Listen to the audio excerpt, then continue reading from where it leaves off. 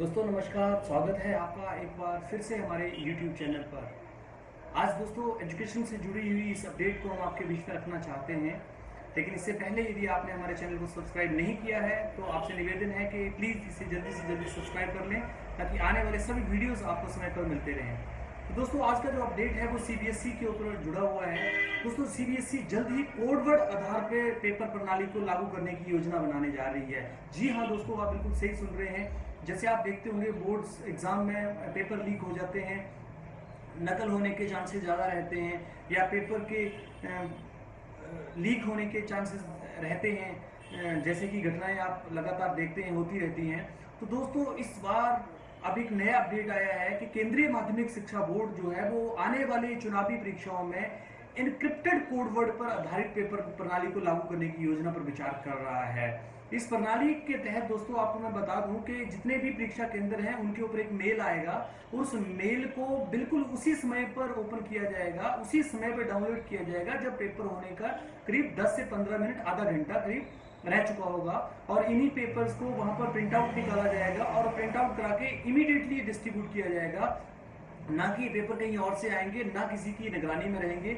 Immediate वो mail उनके पास पहुंचेगा और उसी आधे घंटे के अंदर उनको मेल निकालकर उसको प्रिंट आउट निकाल के तैयार करना पड़ेगा। दोस्तों, ये एक पासवर्ड के ज़रिए डाउनलोड होंगे, क्योंकि इन्हें परीक्षा केंद्रों पर ही फोटोस्टेट करवाकर वितरित किया जाएगा। पेपर लीक की घटनाओं के बाद सीबीएसई ने इस प्रणाली के भविष्य के लिए एक बहुत ही महत्वपूर्ण योगदान माना है और सीबीएसई ने यह कहा है कि जिस तरह से पेपर लीक होने की घटनाएँ बढ़ती जा रही हैं, उसके हिसाब को देखा जाए तो इस प्रणाली के माध्यम से बहुत सारे बेनिफिट्स आने वाले समय में आपको देखने को मिलेंगे। अर्थात जितने भी पेपर्स बोर्ड्स पे एग्ज़ाम पे आएँगे, या एग्ज़ाम सेंटर्स पे आएँगे, जितने भी पेपर सेंटर्स पे आएँगे, उनकी रिस्पॉन्सिबिलिटी उस मेल पर यूज़ करने वाले व्यक्ति की बन जाएगी। दोस्तों, इसको सीबीएसई ने एक पायलट प्रोजेक्ट के माध्यम से तैयार किया था।